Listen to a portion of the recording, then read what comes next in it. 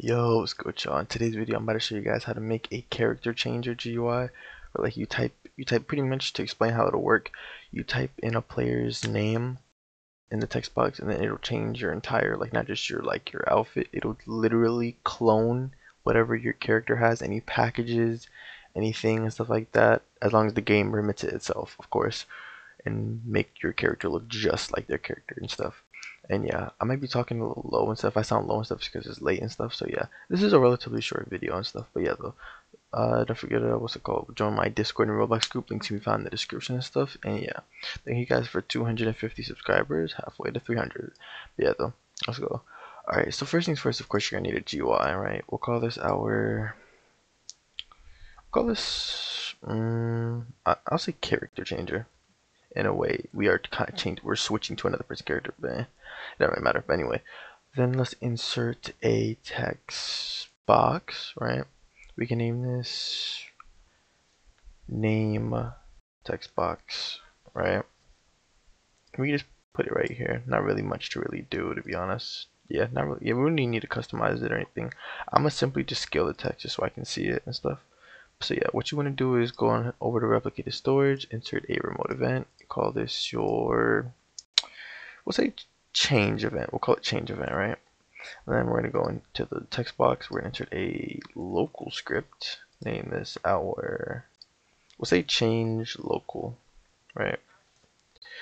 And what we're going to do is we're going to of course reference the remote event local change event by making it into a variable local event equals game dot storage dot change event.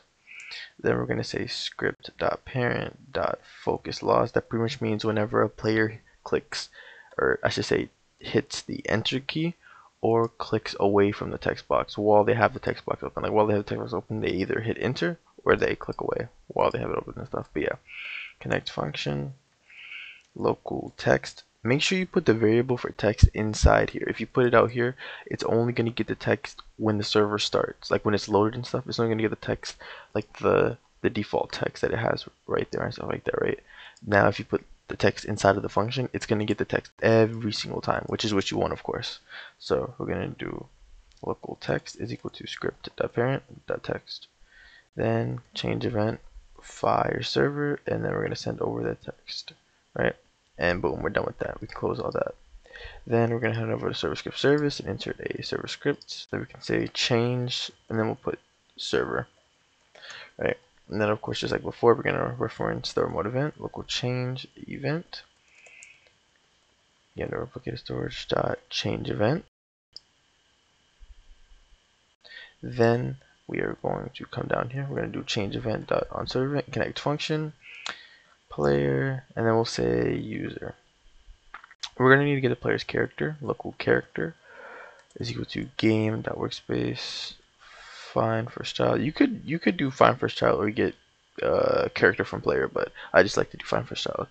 Player name, and then we're gonna need to get to the player's user ID, right? So we're gonna do local ID is equal to. Oh, we're also gonna need to get players. Okay, so go up here, click enter, then do local players, then literally just do you do game get service players or game dot players. E either one works. Yeah, you can do local ID, then do players. Then I believe it's wait. Oh wait no. Oh no no I'm stupid stupid stupid. Not game get service. Game dot players. So you want to do players. Then you wait. That's where we're weird. Wait. I'm shipping. Oh, wait, no, I'm still stupid. Yeah, yeah, yeah, okay. Game dot players, right? Then do players, and I believe it is something user ID. Yeah, get user ID from name async. Yeah, that's what it is. Okay. So then you're going to put the name, which of course would be user. That's what the player sent over, right? That's the text they sent over, which should be the player's username, right? So then we get the player's ID. Then local description, which is equal to I believe the function is player, and then I just know it's something humanoid. Yeah, get humanoid description from user. Yeah, yeah, that's what it is. Yeah, okay. So we put the ID. Then what we're gonna do is character. Just want to autofill, by the way. Character humanoid. Apply description. Oh, that's not spelled out right. Description. then put description. Boom. Right.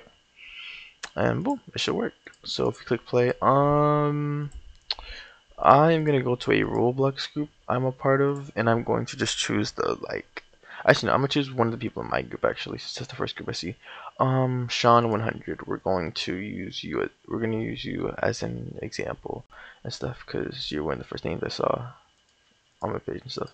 So yeah, we're gonna use him. So his name is Sean underscore 100. So if I go here and type in Sean underscore 100 click enter, boom, it li literally changed me.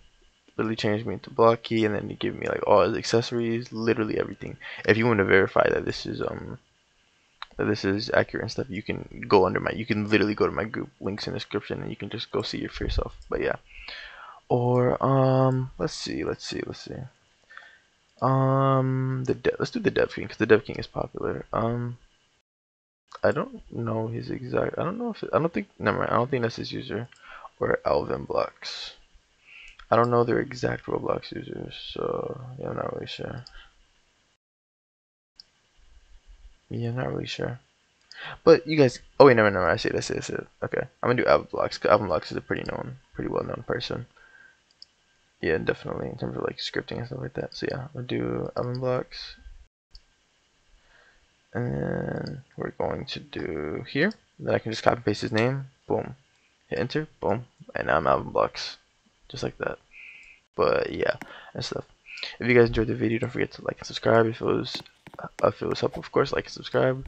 Links to join my Discord and Roblox group can be found in the description. Both scripts will be found in the uh, description of the video and stuff like that. If you have any questions or comments, leave it down in the comment section down below or join the Discord and DM me and stuff. But yeah, I'll see you guys. Thank you guys for watching. See ya.